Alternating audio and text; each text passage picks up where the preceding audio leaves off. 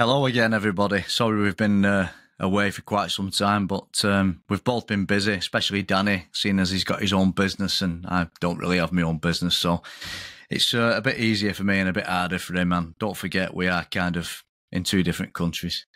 How have you been anyway, Danny? Yeah, pretty good. As you said, busy uh, dealing with all Yeah. sorts, as I'm sure you can relate to. Oh God, I absolutely. I've been busy too. I've been doing mechanical stuff lately, which is a little bit weird because I don't normally do mechanical stuff. As you know, I've not picked up my power probe in about five weeks. I've been doing timing chains and all that type of garbage. What I used to do when I was younger, you know. Got tennis elbow. It's killing me. I saw some of your posts on the Vanos jobs that you've been doing. Yeah, I've, uh, that's done and dusted. He picked it up after it's five years of been to different garages. It's been going on for five years, this problem. And when he picked it up, the only thing he said was, oh, it still has a problem when it's hot starting. It was something and nothing, basically. But no thanks. Like, oh, you've sorted the problem out after multiple garages have ripped me off over the years and haven't fixed it. And that's just what I've just launched this new um, Substack. It's what it's all about because on LinkedIn, I can't say anything because it's all kind you're all kind of like censored. So I've just wrote a few things on Substack because, you know, these customers, they don't appreciate a damn thing you do. That was for me the last final straw. You know, they're just, uh, I'm sure you must experience that, Danny. These ungrateful people, you do them a favour and save them a bit of money. Does that happen to Yeah, you, well, Dan? I had, I had an altercation with one recently who, yes, um, there was a guy who was desperate to uh, have his Audi seen to. Um, apparently, he'd been to several places and nobody had found the problem. And I told him that there would be a charge for the diagnosis, and he uh, he tried to dictate how the diagnosis would go. So I said, "I'm sorry, I uh, I can't take this job on. I have a bad vibe about this one." No, mate.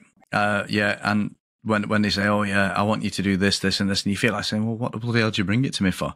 If you want to fix it, fix it yourself. Why are you bringing it to me?" I used to work with a bloke, Danny. Can't mention his name, obviously. It's a shame I can't really, innit? But he had a small place and he was an horrible sod, but he was a very good businessman. And it was the last place I worked before I came came here. Uh, I worked there for like about three weeks. It was I worked there for such a short time. I didn't even put it on my CV. And uh, he was a horrible person. But when people would come, he would say to them, "No, listen, I'll tell you what you're going to have. We're not going to fit these uh, cheap parts. We're going to fit Bosch because I'm a Bosch gas service centre." And they were like, "Yes, okay, no problem." It's the only person I've ever seen who actually tells people how it is.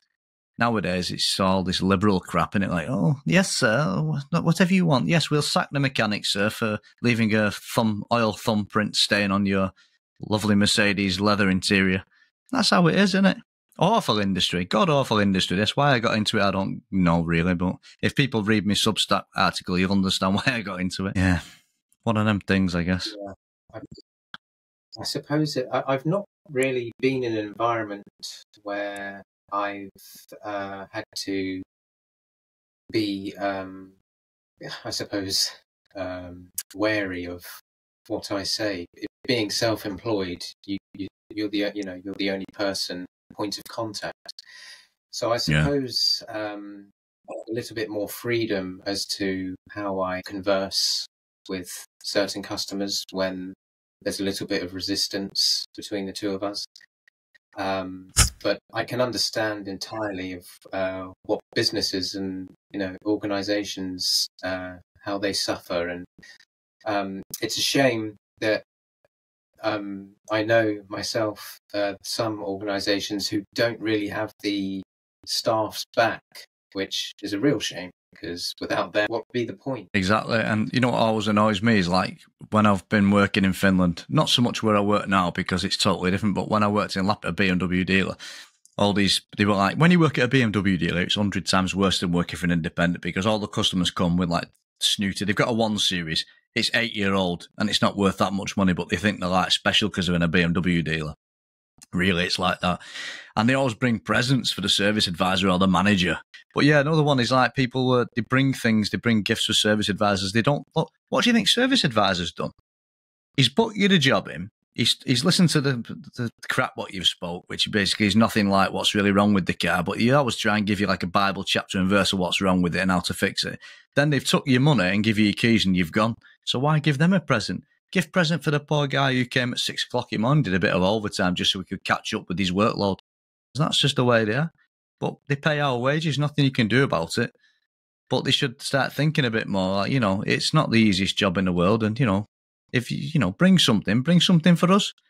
You know, bring us a little, uh, I don't know, toy car, BMW or something, something fun and happy we can stick on my toolbox. You know, unbelievable, isn't it? Sat on their ass all day, service advisor, get everything. That's how it is. Do you think? Do you think because um, you're in the in the back most of the time, out of view of the customer? Maybe, yeah. But I've listen. I've worked at places where, in the good old days, they'd be hanging around purposely to actually do a foreigner on the car. And if foreign, if people are listening who aren't from England, foreigner means a job on the side, basically, which is uh, obviously not taxable. I never did that, of course. I always paid my taxes, naturally. But they do do that. That's the only time they hang around. Uh, most of the time, it's just they're just, uh, but they always blame the mechanic as well, don't they? So, like, if they never bring you anything, they bring gifts for all these weasels, like these these managers and service advisors. The mechanic they never bring out. All they bring is uh, headaches. It rolls downhill, doesn't it? You know, since you serviced my car last week, um, there's a squeak at 100 miles an hour. Well, I can't do that because it's the limit 70 in UK on motorways and 60 on dual carriageways. But when I do 100, you know what I mean? Well, I never drove your car at 100, but all I did was um, change your windscreen wipers, you know, the blades, and they're perfect. Uh, I would insist you put some other blades on. So we put some other blades on, and there you go. The noise is still there, and it ends up being something like gear stick was loose or something. The gear trim was loose around the gear stick. That's what the customers uh, speak to mechanics for, nothing else. Foreigners, jobs on the side, and to moan at them or to lie and say the wheels fell off because they loosened the wheel bolts and blame you so they could get free service. Different for you, though. Self-employed, yeah, totally different. I would, yeah. I mean, in some instances, I suppose it, it it's got its pros and cons because um, you know you, you've only got yourself to look after, but you are also responsible for everything that uh, everyone talks to you about. So you know, there's no escaping if you uh, you know can't be bothered to speak to somebody. I think the hardest thing for me, I'm I'm not sure about you, but it's when the customer has done a bit of research, and um, that there are occasions now. I'm sure you'll understand where you can anticipate the fault um, from a brief description of what the customer might have explained to you. And, you know, with respect, you, you've been in the field for a long time. You don't necessarily need to know what forums you've been reading to to uh, check whether this part is faulty or you've been told that this part's quite a common issue especially when you've already got an idea of how to approach the situation in your mind and then the customer yeah. like, oh, um, I'm just having a look at this. Yeah. They can be really useful because um, I look at them as they're experts in their own right because they love the car. They might have, let's say they have a 5 Series F10 or something. They know everything about that car, probably more than I do, but they don't know how to fix it, right?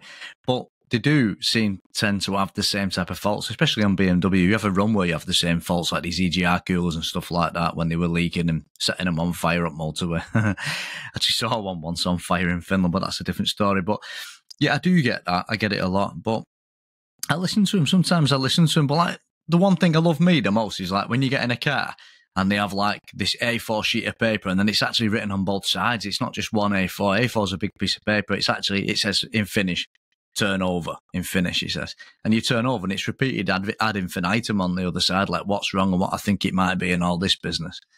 And um, in the end, I don't, I don't really read them because I have to translate it into English anyway. But sometimes they stick them on steering with a bit of tape. So, so it's like pertinent. So you definitely have to, you, you don't miss it kind of thing. Or even better, once one of them stuck stuff stuck it on the seatbelt. So as I put the seatbelt on, a piece of paper come with it, like what was wrong with the car and all that business. Yeah, yeah. hey, I'll tell you a funny one, Danny. Um, I just thinking the other day.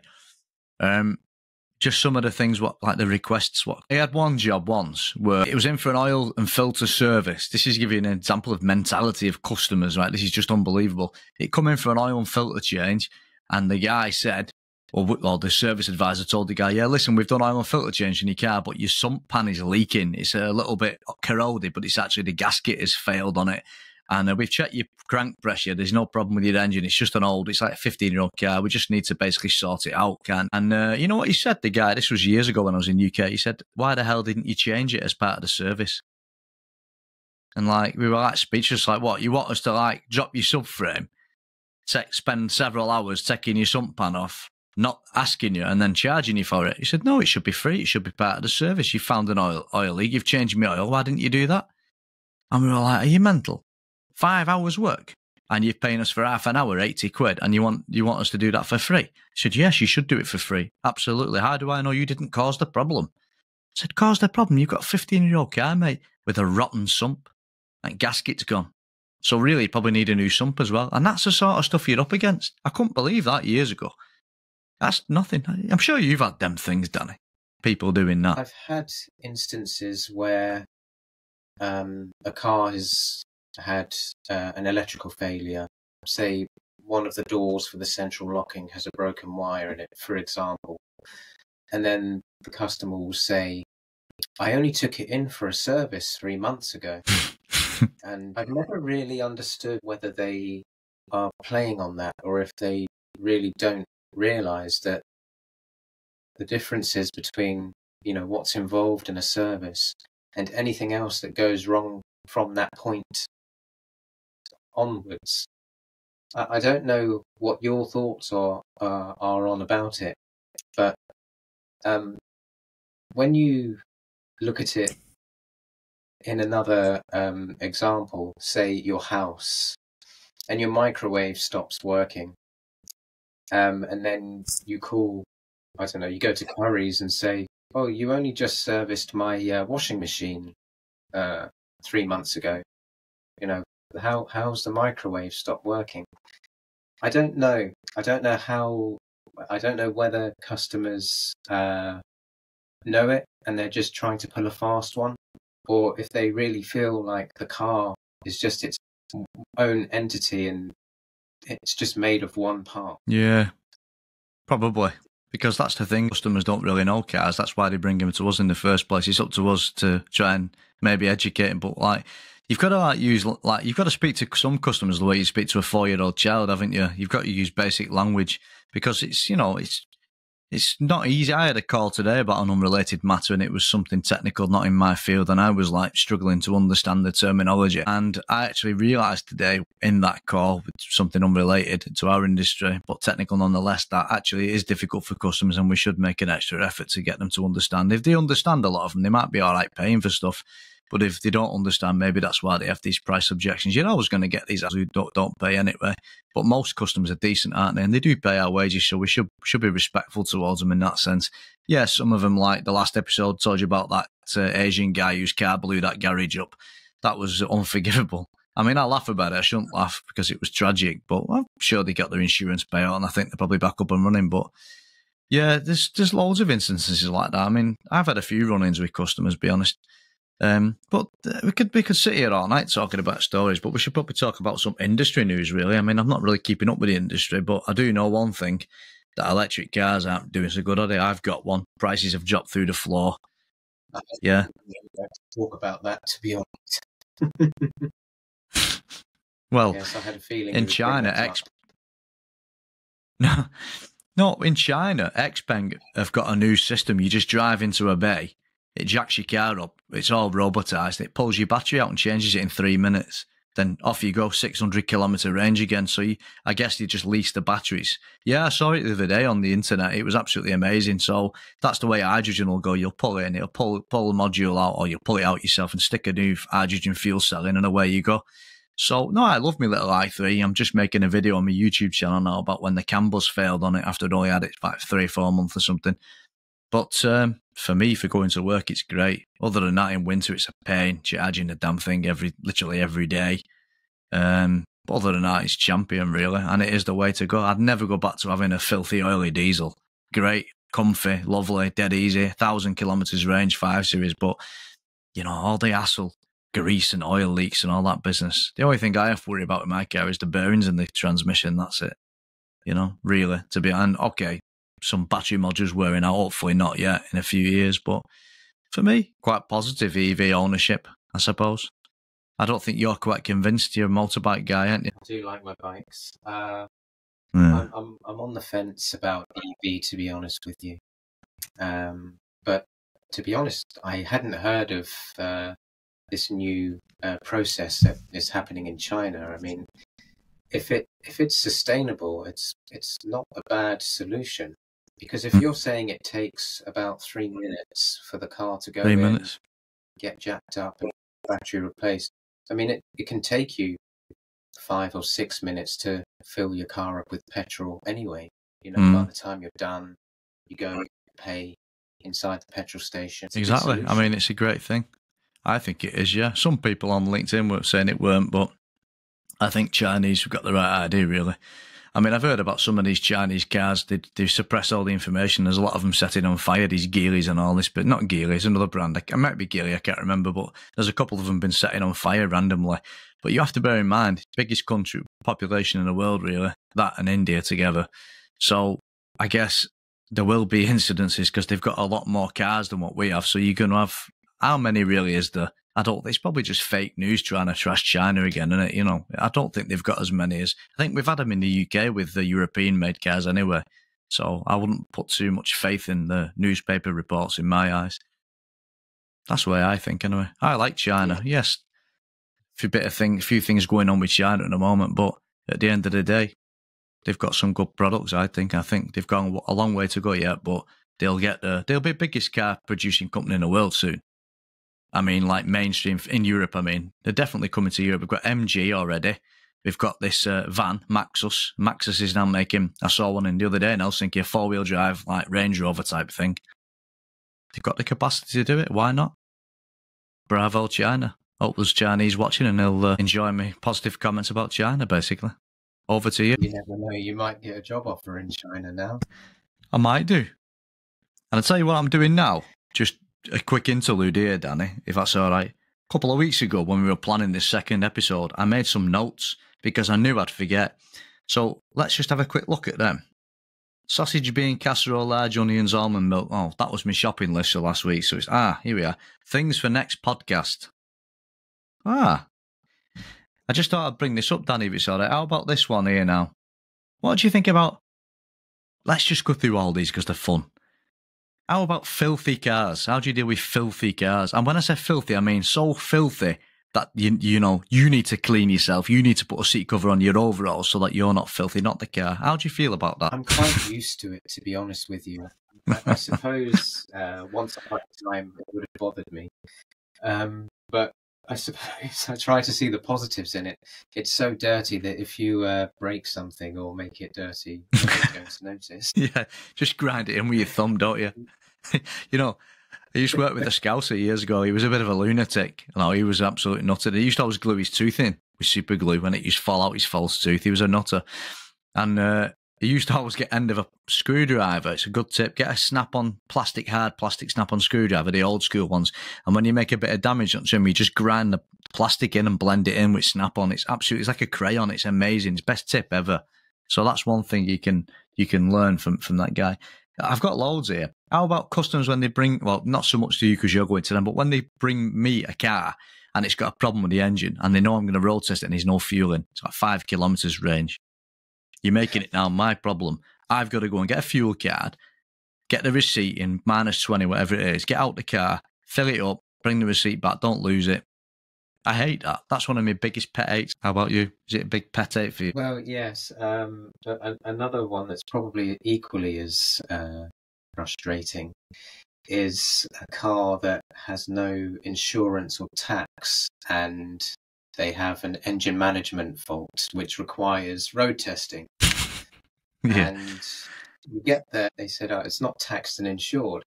It's like, well, I'm only covered to drive a car that is taxed and insured, so you know that's no good to me.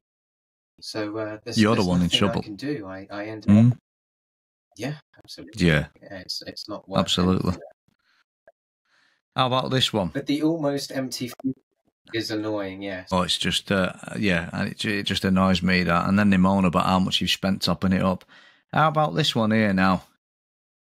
If I had a girlfriend called Carly, which I don't. I'm married, of course. But if I had a girlfriend called Carly, because it is a name of you know these girls in England, these like these council house types. Oh, like Carly, love, you know that type.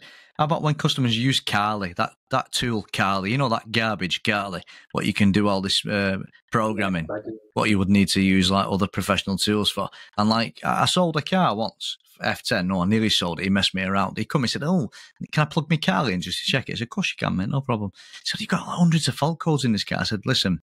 Those are bullshit fault codes because they don't really exist. Because Carly gives you a load of bullshit information that just makes people like you panic, thinking you've got a fault with your car when there ain't no fault with your car. So I hate Carly. I would never recommend it. Same with that Bimmer code or Bummer code, as I call it. Should throw it all in the bin. Waste of time. It's all right for reading the odd fault code, but like you read it, it's like then you plug in AutoLogic or ThinkTool or even ISTA. Code doesn't even exist. Doesn't even exist, mate. So I hate that. Yeah, I've used my Carly and I've got this fault code. I need to know what it means. What does it mean? It don't mean nothing, mate. Come into my workshop, please. The if it's not honest or, or, or AutoLogic, it ain't a fault code. But you know the type of customers what I mean, right? Oh yeah, yeah. I I have uh, a few of those. I'm, I'm actually quite good friends with them, but um, you do sort of have to remind them of uh, how not to rely on these really low priced, mm. uh, you know, code readers. I wouldn't even call it a diagnostic machine, just a you know basic code reader. I'm I'm, aw- I'm aware of Carly, but I've not actually seen one um, in the flesh. So I, don't know what they're like, but from your description, for coding, they're not very... no, it's for coding. It's quite good. You can you can do like fancy things like you know turn on American style uh, indicator markers and all that. You know all this type of coding stuff like uh, you know M Sport Display and Sport Display. So in that sense, it's great if you think about it. But it's these people who think when they've got these phantom fault codes, which this pile of crap picks up, that there is a fault. So that's why I don't like it. Basically, how about this one? How about uh, yeah, this is my favourite now. A customer comes to you and it says on the job card, one hour max, then call customer, or one hour waiting customer. Waiting customer's the best. Then you plug it in, they've got 75 fault codes. They've clearly been doing it for six months to a year, but they now only want to bring it when it's minus 20 in winter, and it only does it in summer when it's hot, usually. That's the other thing. But, like, uh, you know, they expect you to do it in, in an hour. Oh, well, you've got fault codes, so you must know what's wrong with it. There's 75 of them, mate. Most of them are because there's some serious problem with a unit or wiring. And, you know, give me five hours, six hours, leave it with me for the day, take a courtesy go, oh, no, I'll go somewhere else. Rubbish. That's what I get sometimes. They don't understand why it'll take me several hours just to understand what's going on. It must happen to well, you, that. Good luck taking it somewhere else to get an hour. Hmm? Um, it, it's happened on occasions. Um, I, I, used to. I, did a short stint at um, stint at Car Giant in West London, um, and we used to have a customer waiting job card as well. So we'd get there were yellow job cards, and that's how we knew that they were customer waiting jobs. But in all honesty, um, our manager was very understanding, and he he uh, he called a spade a spade. So, and he he would quite oh. Accept you to speak to him back in that way too. He, he actually respected you more if you spoke your mind. And we'd go there. We'd, we'd give it a scan. We we used um, AutoLogic at Car Giant as well back in twenty, and um, would see 15 to 20 fault codes. A lot of them are current and not history codes. And we just say, look, mm. this is not a customer waiting type of diagnostic. So you either let them know to tell the customer that they're going to be here for a while, or they reschedule it for a day where they can leave the car and go. Yeah, don't yeah. mess around with the waiting ones. To be honest, uh, they they need to be told uh, how it is if if you know that the job is going to be difficult sure. Yeah, that's how it is, though. To be honest, for me, I get a lot of them customer waiters, but in Finland it's different because uh, the environment and everything. It's just such hassle trudging through the snow to get public transport. I can promise you. So I do understand that. But in the UK, it was like ridiculous. You know, like oh, I can't be bothered. I'm going to wait like that. You've got one hour to do it. You know, what is it like Kwik Fit or something? I didn't work at Kwik Fit as a young lad because precisely I didn't want to be rushed changing tires and exhaust like some trained chimpanzee all day. So I give that a miss, basically. Of course, I don't. If is Kwik Fit still in business, by the way? Does it still exist? Kwik Fit. Yeah. Yes. Yeah, they're still around. Yeah. Wow, that's amazing. I think they they they do MOTs now. I don't know if they did when you were uh, in England. No, but yeah.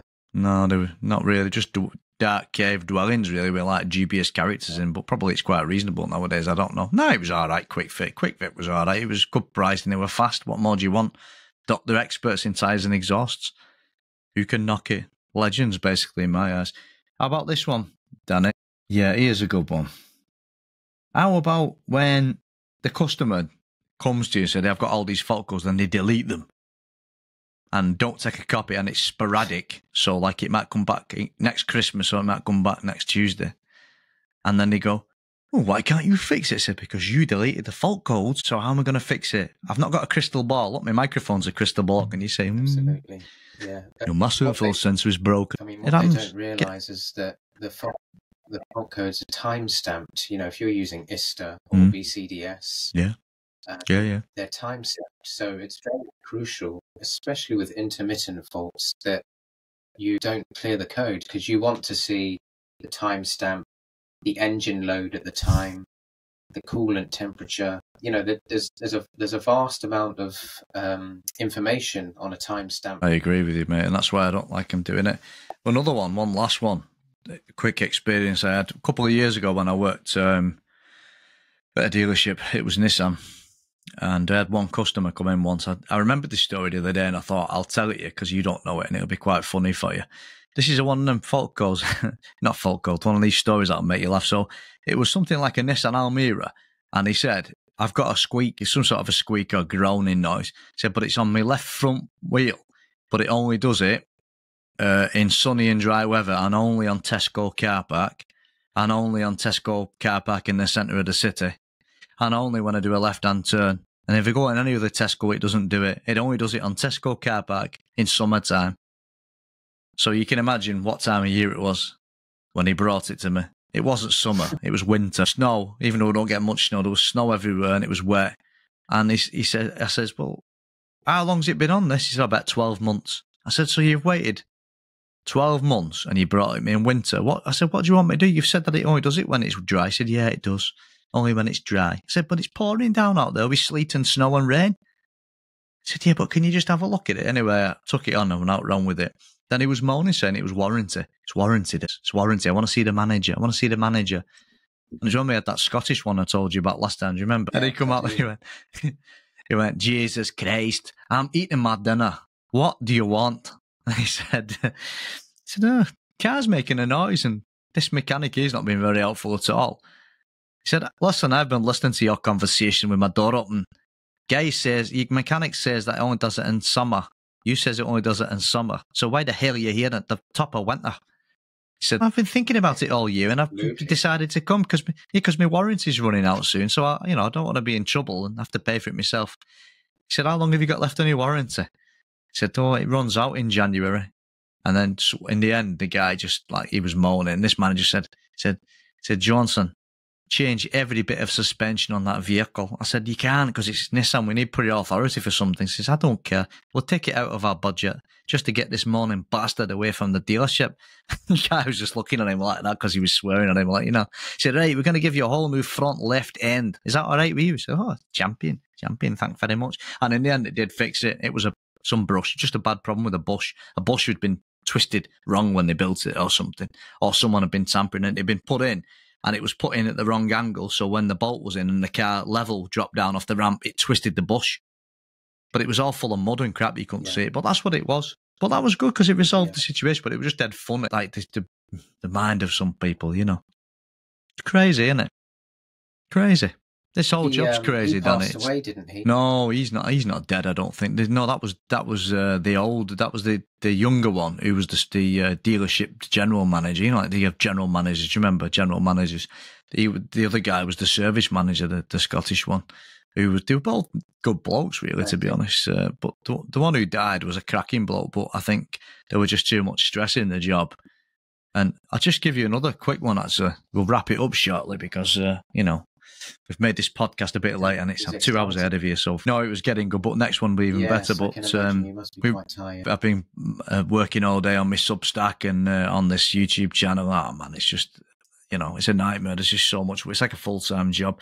But I just give you a quick one. What I just it came to my mind the other day. I worked at a place once, and we were looking at this used car, sales car. They'd bought it from an auction. They used to buy used cars from auction. It was a Peugeot. I think it was a 206 or something, or maybe a 307 or something like that.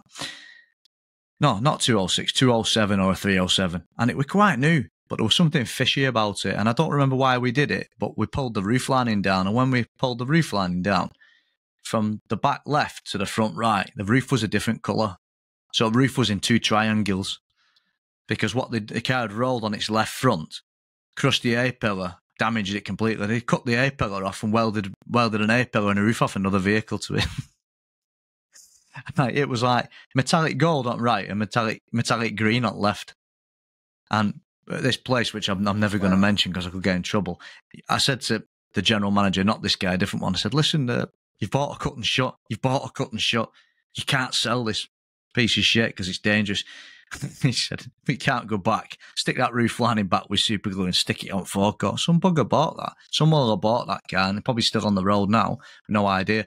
I mean, the repair must have been amazing because to join two parts together on an angle like that, it was crazy. But the welding was proper dodgy. It was like that bird shit welding, you know. And I was like, you know, it's got like 10 kilograms of filler. It's got 10 kilograms of filler on roof. Roof didn't flex. Roofs flex. They're only thin, aren't they? They flex, boing, boing. This didn't flex. It just went Yeah. boom, boom, boom. It was like hitting a piece of plasterboard. Hitting a piece of plasterboard. Yeah. But anyway, that's just part of fun of the uh, mid 2000s in the UK when everything was a bit dodgy and now it's a lot more strict, I guess. Probably still not rolled that. Well, yes. I mean, when you said a, a 206 or a 207, uh, it, it probably Hmm. is. Well, I see plenty 207, I think. And uh, Yeah, I, yeah, I think it was a 207, mate. I'm pretty sure it was a 207.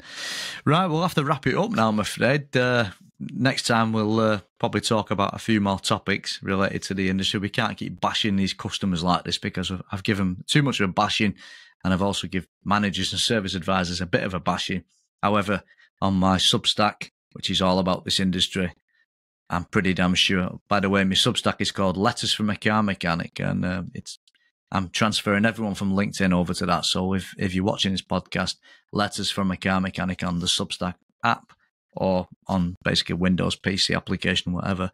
So that's what we're going to do. We're not going to bash these people too much and we'll come up with some lovely topics next time. And we may even, Danny, I don't know if you think this is a good idea. We'll probably get someone to call in on the next one. We'll have a, a good old three way chat about the industry. What do you think? I think that would be marvelous. I think it would be marvelous also. There's a, there's a few Um, there's a few few people on LinkedIn who I I'm sure would be more than happy to get involved. Oh yeah, I've got I've I've got Tom Denton to mind definitely, but we'll have to be on our best behaviour because Tom's a, a real gentleman of the automotive industry. He's actually a, a legend and a giant, so we must um, only talk about sensible things if Tom comes on. I'm pretty sure Tom we could twist Tom's arm to come on here, and I do like Tom. I've met him a few times, and uh, I wouldn't be where I am without him actually, especially when it comes to my writing side of things, because Tom's definitely sort of been a motivating factor and an inspiration for me. So right. So, anything else you want to say, Danny, before we end this session? No, I don't think so. No. Until the next Right. time. Difficult. Until next time. Been a bit difficult tonight because I'm on like uh, the worst internet you can ever imagine. I'm on 4G internet because I live in the middle of a forest and it keeps dropping off. So there's like a delay. But it does save to local machine on this podcast, which should be pretty good. But it's difficult. So if if, if anyone, whoever's watching this, because it's the first time we've done it on video, if it's a bit jittery, it's because there was a bit of a problem with the internet. But you know, that's life. It is what it is. I'm sure it's it's good laugh and it's all entertaining, and it's better than some automotive podcasts, which are basically just boring garbage. So hopefully people will like ours much more and they'll download it. So make sure you download it and leave some reviews as well because, you know, we're not going to grow without reviews. If you like it, review it and leave a good one. If you don't like it, don't do it. Don't come back, no problem. But if you like it, please review, review, five star. Right, until next time. See you all later. Good one.